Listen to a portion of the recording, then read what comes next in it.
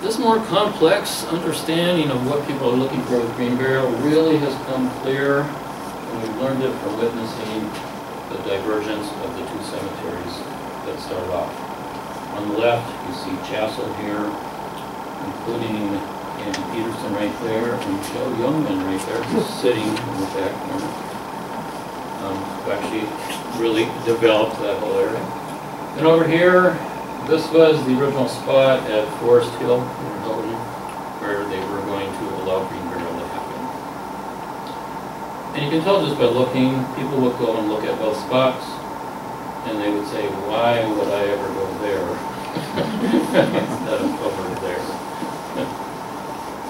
So, this is what, this is the divergence. How is Chassell outperforming? Started late fall 2015. Joe wanted them ready for Christmas, and a lot of us got plots for Christmas that year. There were 43 um, spots in the original Green area, and they were sold out, I think, within, certainly within two years, because it is so attractive. Joe started developing more, and at this point, they've had nine burials already. And according to the sexton last week, they've sold 76 of their entire 102 plots. So there's 26 plots left.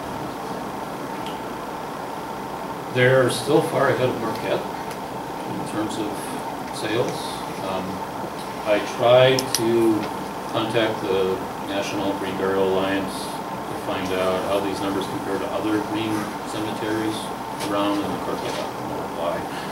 Um, But I'll be doing that research, but I would say they've been doing pretty well. There's a lot of cemeteries around here that don't see 76 plot sales in five years of. So again, why? Why is Chassell outperforming? Clear connection to the natural world. The original site is like walking through the woods. The new sites, what Joe did is he put um, a vegetable burial kind of in the middle. And then in these little nooks among the trees, sections of green burial over to the sides. And they are proving attractive. And you do still feel very much like you're in the woods. The aesthetics are just right. Vertical mass. Um, what I've come to realize is, like what I talked about, my friends are there, and then as more friends have plots, then their friends want plots.